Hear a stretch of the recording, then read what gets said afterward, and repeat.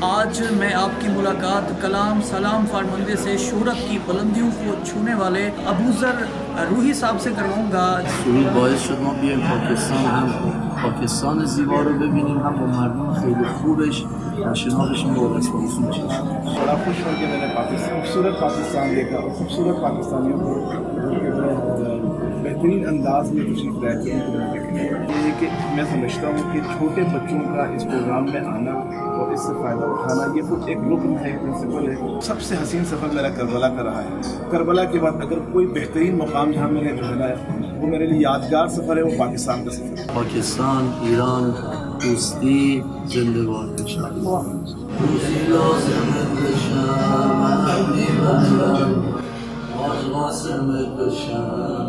जब ये सलाम फरमाते पढ़ा गया। तो मैं सबसे जो खूबसूरत मंजर मेरे लिए सामने आया वो ये था कि तमाम अकवाम आलम में मुसलमानों में एक इतिहाद सब्सक्राइब करें और बेल दबाएँ ताकि कोई खबर रह न जाए। असलम आप देख रहे हैं बोल न्यूज़ और मैं हूँ सैयद अली रज़ा। आज मैं आपकी मुलाकात कलाम सलाम फारमंदे से शहरत की बुलंदियों को छूने वाले इस्लामी जमहूर पाकिस्तान के मारूफ नात मनकबत खान अबूज़र रूही साहब से करवाऊँगा, जो इस वक्त पाकिस्तान में मौजूद हैं, और आज इन्होंने पाकिस्तान में एक ऐसा इवेंट किया है कि जिसमें हाउस पैक था। ऐवान इकबाल में आज इन्होंने लाइव परफॉर्मेंस दी है। कलाम सलाम फरमंदे का पढ़ने का आइडिया कैसे आया? और आज ये वो कलाम है जो 50 से ज़्यादा ममालिक में उन मुल्कों की मकामी और वहाँ पर रहने वाले लोगों की जो अपनी मादरी ज़ुबानें हैं, वहाँ पर तर्जमा करके पढ़ा जा रहा है। और इस कलाम की जो मकबूलियत है क्या ये एक्सपेक्टेड थी या अनएक्सपेक्टेड थी? अबूजर रूही साहब का पाकिस्तान का दौरा, इनसे जुड़ी कुछ यादें और इनसे ख़ास तौर पर इनसे जुड़े कुछ छुपे हकायक हम आप, आपसे शेयर करेंगे। अबूजर रूही साहब वक्त देने का बहुत शुक्रिया। कैसे हैं आप?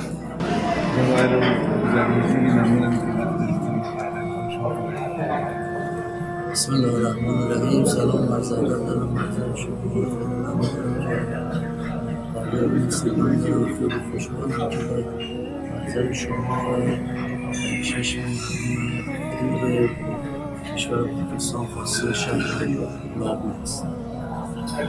जी अस्सलाम वालेकुम मैं आपका बहुत शुक्रिया अदा कर रहा हूँ कि आप लोगों ने मुझे इस काबिल समझा।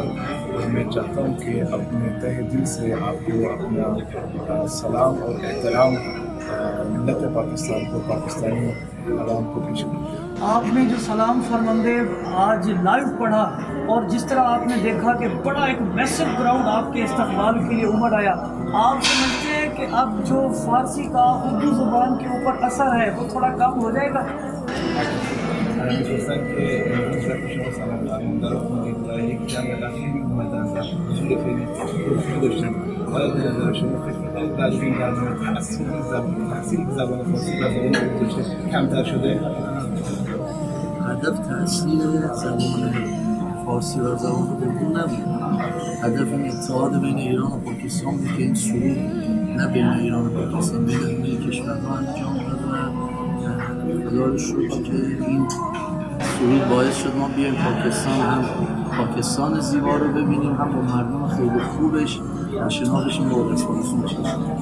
इस तराने का मकसद ये नहीं था कि फारसी जबान को उर्दू को तासीर के इवालत करें बल्कि मैं समझता हूँ ये था ईरान और पाकिस्तान के अवाम में दोस्ती और यकसुई है। न सिर्फ़ ईरान और पाकिस्तान की तमाम अकवाम आलम के साथ दोस्ती और यकसुई है। बड़ा खुश हूँ कि मैंने पाकिस्तान, खूबसूरत पाकिस्तान देखा और खूबसूरत पाकिस्तानियों को बेहतरीन अंदाज में उनको मैं देखने कलाम, सलाम फरमंदे क्या इससे पहले आपने बहुत सारे कलाम पढ़े। क्या ये कोई ख़ास आइडिया था? कोई ख्वाब की ताबीर थी जो आपने पढ़ा और आज ज़ुबान ज़द आम हो?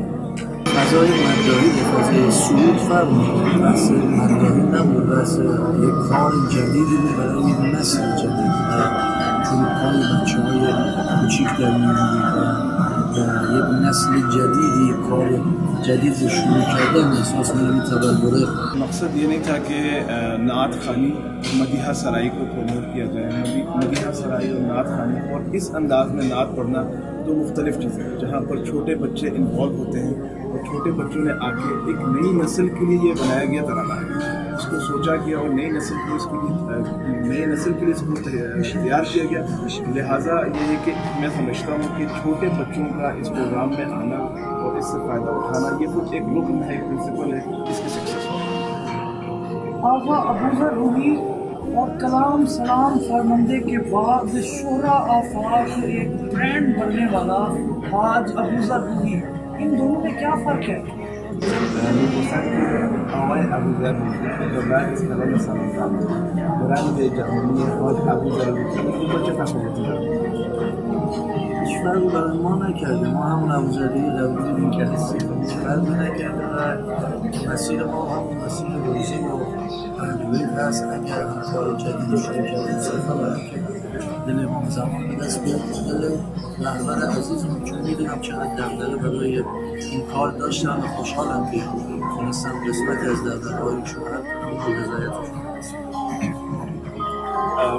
अगर मेरे से पूछे हैं हाथ अबूजर रूबी कोई फर्क नहीं।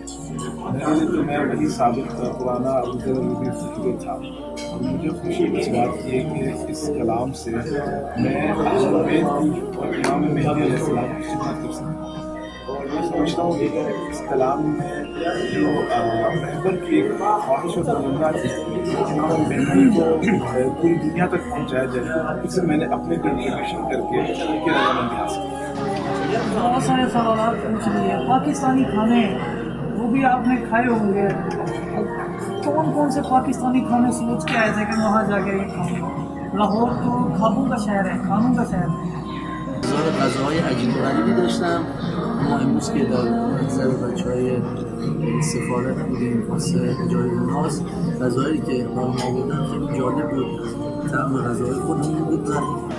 मैं तो नहीं जानता था कि लाहौर खाबों का शहर है ये तो मुझे अभी पता चला लेकिन जब आज मैं एम्बेसी में रोनाक साहब के मेहमान था और उन्होंने मुझे खाना सर्व किया तो मेरी तरफ़ को ये थी कि बहुत ही कोई डिफरेंट खाना होगा और बहुत ही मेरे जहन तो तस्वुर से दूर था लेकिन जब वो खाना आया मैंने देखा वो खाना किस कदर हमारे खाने से मुख्तलिफ़ है और किस कदर हम लोग खाने पीने में भी एक जैसे एक दूसरे से। करीब ये मैं ज़रूर बताऊँगा कि खाना प्यार है लजीज था तो मैं इस खाने को इंतज़ार आपने शायद हमारी बिरयानी नहीं खाई।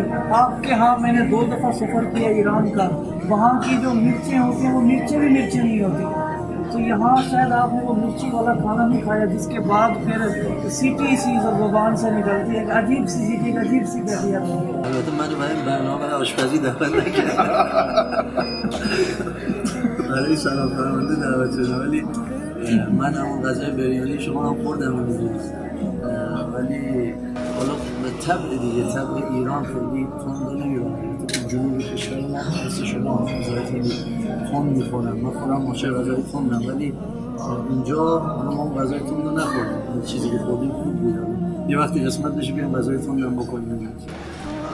मैं यहाँ पर कुकिंग के लिए नहीं बुलाया गया था मुझे यहाँ पर बुलाया था सलाम फरमाने के लिए लेकिन मैं ये भी बताऊँगा कि अ, हमारे मुल्क में भी साउथ में जो है स्पाइसी खाने खाए जाते हैं जबकि बाकी इलाकों में जो खाना इस्तेमाल किया जाता है वो इस कदर से इतना स्पाइसी नहीं होता। लेकिन मैं ज़्यादा तौर पर स्पाइसी खाना पसंद करता हूँ और मैंने खाने को इन्जॉय किया है। और आई एक्सपेक्ट दैट कि इंशाल्लाह जब मैं नेक्स्ट टाइम आऊँगा तो मज़ीद स्पाइसी खाना मिल जाएगा जो सवाल मैं बाहर से आए हुए लोगों से सबसे पहले पूछता हूँ आपसे मैं वो इंटरव्यू के आखिर में ही ये पूछ रहा हूँ मैं हमारा पाकिस्तान और पाकिस्तानी कैसे लगे आपको? हमीरपुर साहब के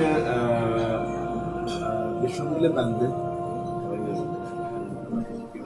Professionaldir. Dahi publicity. Profesyonel çöpüne yok. I'm not Buzurban, I'm young boy. You're not Buzurban, so much I'm not. अपन के लिए बुज़ुर्ग और नाना बेर होना मुझे फारसी में बुज़ुर्ग बाप जो है ना अच्छे इंसान की लकब होती है ना ये कि है ना ये कि बुज़ुर्ग एज के हो मैं मैं बुज़ुर्ग वालों के नाम बुज़ुर्ग किसी औरत का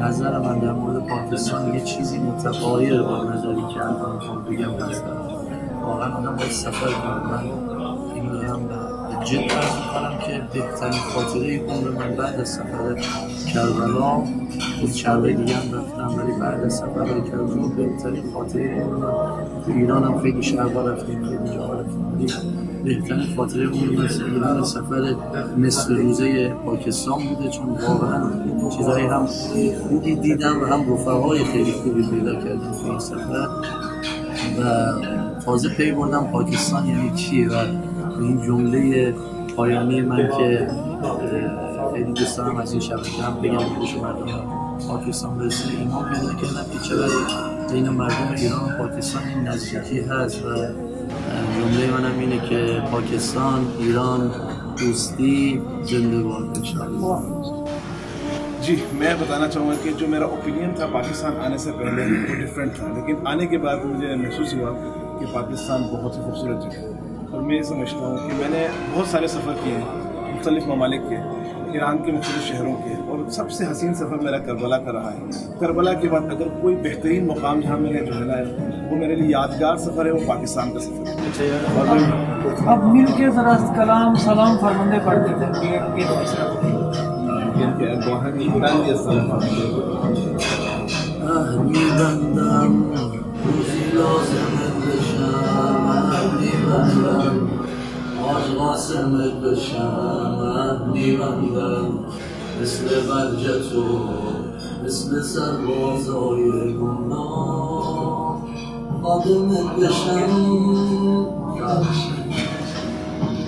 आपके वक्त का बहुत शुक्रिया बस जाते जाते ये बता दें कि आधी दुनिया में ये कलाम पढ़ा गया आपने भी वो वीडियोस देखी होंगी पढ़ने वालों को सुना होगा तो आपको सबसे ज़्यादा पसंदीदा कलाम किसका लगा कौन सा मुल्क था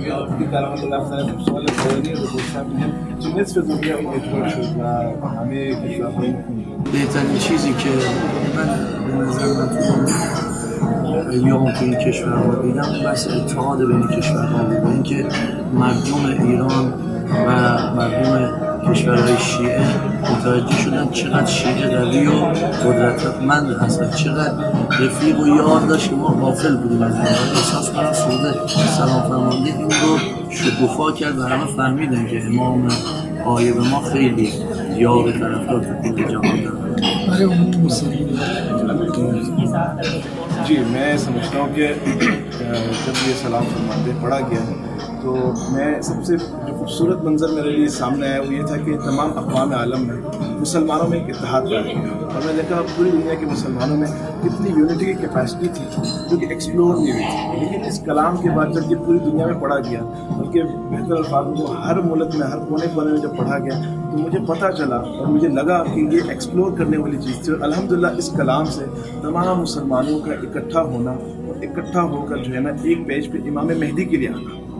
इमाम मेहदी के आमादगी करना और प्रिपरेशन ये वो कंसर्न था इस तराने ने जो है एक्सप्लोर बिल्कुल जी, पाकिस्तान में आर्ट का रिवाइवल होना चाहिए, पाकिस्तान में कल्चर का रिवाइवल होना चाहिए और पाकिस्तान में आज जिस तरह हमने देखा कि एक बैन अवी मरूफ नातो मनकबत खान का जिस तरह यहाँ पर इस्तबाल किया गया और जिस तरह उन्होंने कलाम पढ़ा और ये हमेशा जो भी कलाम पढ़ते हैं, सुनने वालों पर सहर तारी कर देते हैं। इनके बारे में कुछ जानने की कोशिश की, वो हमने कोशिश आप तक पहुँचाई। आपके आसपास कोई इंस्पिरेशनल मोटिवेशनल स्टोरी मौजूद है या आपके अंदर कोई टैलेंट मौजूद है तो हमारे फेसबुक पेज बोल न्यूज़ पर हमसे रबता करें। मुझे दीजिए इजाज़त और देखते रहिए पाकिस्तान का number one news channel Bol news Ali Ibrahim साहब, आपका बहुत शुक्रिया।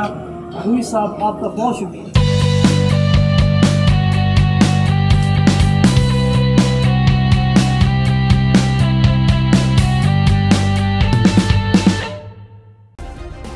सब्सक्राइब करें और बेल दबाएँ ताकि कोई खबर रह न जाए।